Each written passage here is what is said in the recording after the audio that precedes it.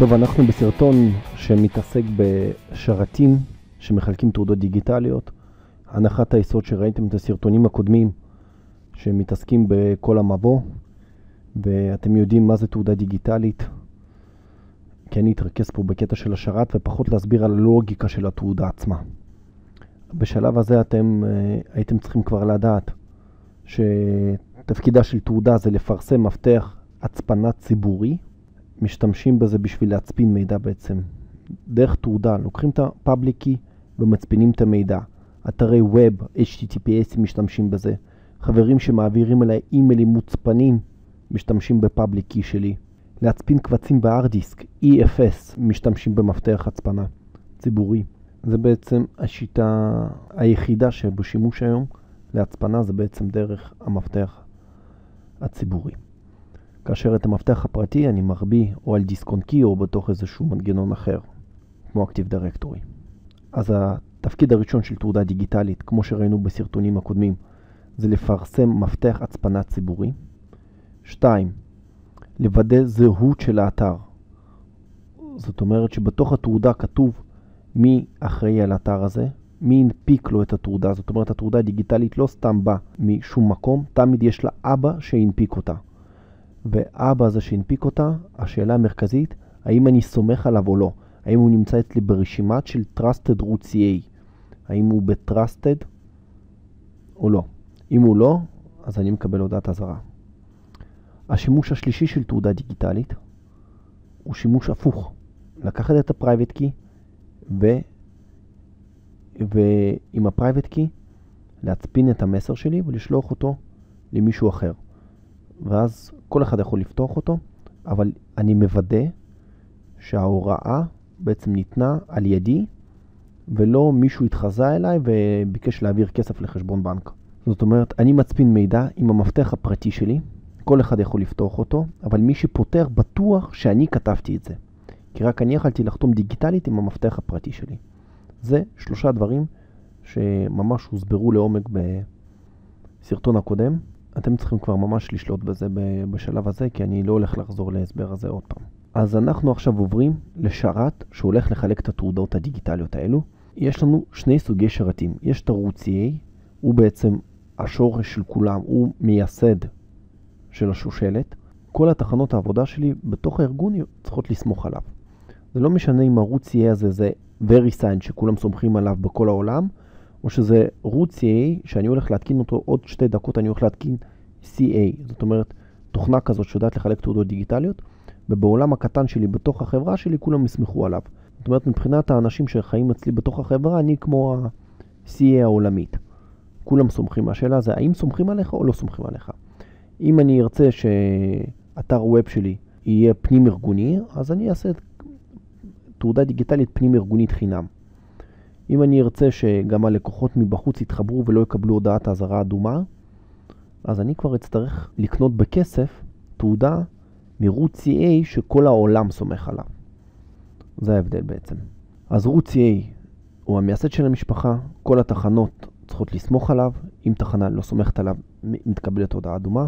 בארגונים גדולים, ה-root CA, השרת עצמו שמחלק את התעודה הזאת, הראשית, המייסד, הוא מנותק מהרשת, מנותק מהחשמל, הוא לא חלק מ-Active Director ומניהול מרכזי, כי אם מישהו פורץ עליו, מישהו גונב לו את התעודה הפרטית שלו, הלך כל העץ. כל התחנות העבודה, כל העץ שיש מתחת, שסומך עליו, כל זה הלך. אנחנו לא כל כך נתרגש מזה, אז אנחנו לא ננתק פה שום דבר מהחשמל, רק שתבינו, כאילו זה תלוי בסדר גודל של הארגון וברגישות שלו.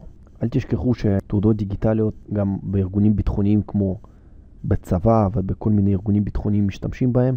לא הכל סביבות וירטואליות של שני משתמשים. סאב-CA זה תת-CA.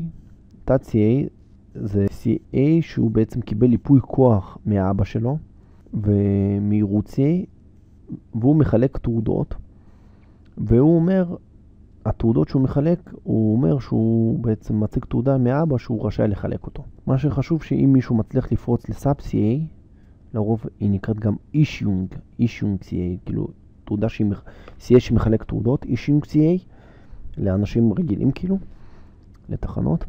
אז אם מישהו מצליח לפרוץ לסאב CA או לאישיונג CA, אז האבא תמיד יכול לפרסם את ה-CA הזאת כ-CA פסולה ואת כל התעודות שלה לפסול במכה. קשר בין Active Directory ל-CA. חבר'ה, אנחנו הולכים להתקין את זה עוד דקה, אני רוצה רק ככה לתת לכם קצת בסיס, אחרי זה נראה את הקליקים. אז יש Standalone CA ו-Enterprise. Standalone זה אומר שהיא עומדת לבד, היא לא סומכת על Active Directory, לא מעניין אותה שאתה user ב-Active Directory ולא מעניין אותה שאתה computer ב-Active Directory. אתה רוצה תעודה דיגיטלית? תחכה שמנהל הרשת יאשר לך, שמנהל של CA יאשר לך את התעודה. Enterprise CA, יש לה אופציה, אם אני רוצה, יש לה אופציה כמובן, זה לא חייב. להגיד שמי שעבר אימות ב-Active Directory יכול לקבל תעודה מסוימת, או קבוצה מסוימת של אנשים יכולים לקבל תעודה מסוימת באופן אוטומטי בלי להטריד את המנהל הרשת. זאת אומרת, מאפשרת הנפקת תעודות לפי בקשת המשתמש ללא אישור של מנהל רשת לכל תעודה בנפרד. ללא אישור של מנהל רשת לכל תעודה בנפרד, כמו בסטנדלון. במילים אחרות, מנהל רשת מאשר ל-CA סוג מסוים של תעודות להנפיק לקבוצה מסוימת של אנשים מבלי לבקש אישור לכל תעודה. זה הדגש. אני לוקח קבוצה של אנשים, אני לוקח תעודה מסוימת ואומר שהקבוצה הזאת יכולה לבקש את התעודה הזאת בלי לבקש, בלי לעבור דרכי, בלי, בלי אישור שלי. רוצים תעודה? תיקחו תעודה, אין לי בעיה. כל עוד Active Directory בדקה שיש לכם שם וסיסמה ואתם באמת היוזרים אצלי, תיקחו חופשי. חוץ מזה, אני יכול לבקש גם מ-GPO, דרך GPO,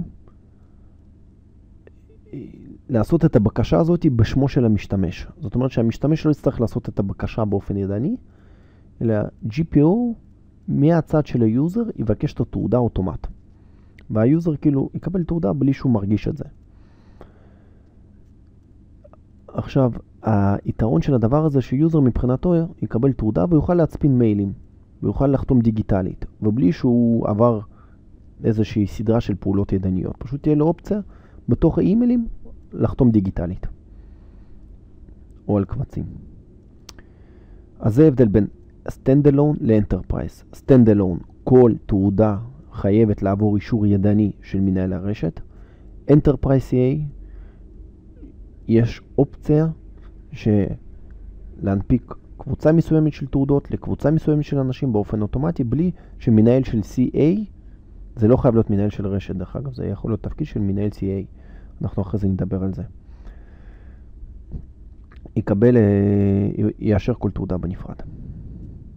אנחנו הולכים להתקין בהתחלה standalone, מתחת ל standalone. אתם רואים איך אנחנו הולכים לעשות את ההיררכיה.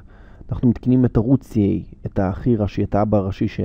כ standalone, את התת CA כ Enterprise, זאת האוטומטית. זאת אומרת, האבא הראשי לא מנפיק שום דבר באופן אוטומטי, והילדים, כאילו CA, מנפיק באופן אוטומטי לתחנות. זה מה שקורה, זה מומלץ לפי מייקרוסופט, בסדר? לפי מייקרוסופט מומלץ שתחנות העבודה יעבדו מול Enterprise CA שהכל יהיה אוטומט, אבל מי שמעל Enterprise CA שיהיה stand alone, כדי לוודא ששום דבר לא קורה שם. בסדר? איך לבקש תעודה מ-CA? אנחנו נניח התקנו את ה-CA, עובד CA, איך מבקשים ממנו תעודה? אפשר לבקש דרך אתר האינטרנט, אפשר לבקש דרך קובץ טקסט. בואו נחזור לשקופית הזאת אחרי שקצת נתקין ו... ונראה קצת איך עובד.